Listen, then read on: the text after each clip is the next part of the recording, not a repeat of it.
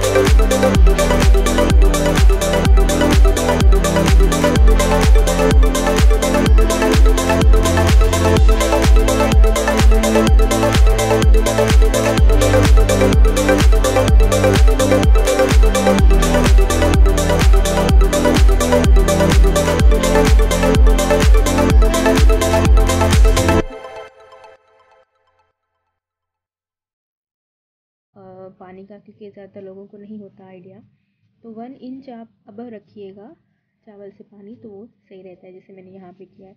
And में मैंने थोड़ा सा बिरयानी मसाला इसमें ऐड किया था फ्लेवर के लिए, खुशबू के लिए। और फिर मैं इसको ज़्यादा नहीं घुमा रही थी, क्योंकि चावल टूटने का डर होता है। तो बस मैंने साइड साइड से इसको थोड़ा सा हिला दिया ताकि ये चिपके ना। और इसके नीचे मैंने तवा रख दिया था जब मैं दम लगाने से पहले। इससे क्या होता है कि चावल नीचे लगते नहीं और अच्छे से प्रॉपर इसको दम दिया जाता है। अब जैसे ही ये पानी ड्राई हो गया था तो जो मैंने बीफ और आलू निकाले थे, वो मैंने इसमें ऐड कर दिए और इसके साथ इसके ऊपर जो मैंने कटिंग करके रखे थे टोमेटोज़ और जो प्याज मैंने निकाली थी और कोरिएंडर ये सारा मसाला ग्रीन चिली को सारे मैं इसमें ऐड कर दूँगी। और इससे ये होता है जो ऊपर जैसे मैं टमाटोज डाल रही हूँ तो ये पूरे नहीं हाफ़ पूरे नहीं गलते हाफ़ कुकड होते हैं। तो ये जब हम खाते हैं तो बहुत अच्छा फ्लेवर आता है और ये मैंने लेमन भी स्लाइस कर दिए थे वो भी मैं इसमें ऐड कर रही थी। धनिया और और थोड़ा सा मैंने ये फ़ूड कलर डाला था अच्छा लगता है और, और थोड़ा सा मैंने इसमें फिर बाद में कैमरा एसेंस भी ऐड किया था, लेकिन थोड़ा सा ही किया था। वन, टू, थ्री ड्रॉप ज़्यादा नहीं, और फिर मैंने इसको दम पे लगा दिया था। Almost fifteen to twenty minutes तक। ये मैंने दम पे लगा दिया था, और अभी मैंने दम से हटाया है तो बहुत अच्छा बना था पुलाव बहुत टेस्टी भी था, और क्योंकि मेरे हस्बैंड के फ्रेंड भी आए हुए थे तो वो भी बहुत तारीफ़ कर रहे थे पुलाव की। तो आप ज़रूर ट्राई कीजिएगा ये रेसिपी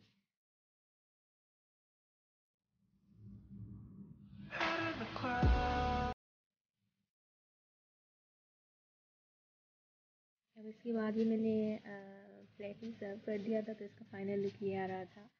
और कैमरा इसके साथ से जस्टिस नहीं कर रही थी। सामने ये बहुत ज़्यादा दिखने में भी अच्छा था और टेस्ट में तो ओबियसली ज़्यादा ही अच्छा था क्योंकि मैं खुद अपनी पुलाव इतनी तारीफ़ कर रही हूँ। जब आप ट्राई करेंगे तो आपको भी डेफिनेटली ये ज़रूर बहुत ज़्यादा टेस्टी करेगा। तो thank you so much for watching my blog और मेरे चैनल को ज़रूर सब्सक्राइब कीजिएगा लाइक कीजिएगा कमेंट्स कीजिएगा और मुझे ढेर सारा प्यार दीजिएगा और अपनी दुआओं में मुझे याद कीजिएगा।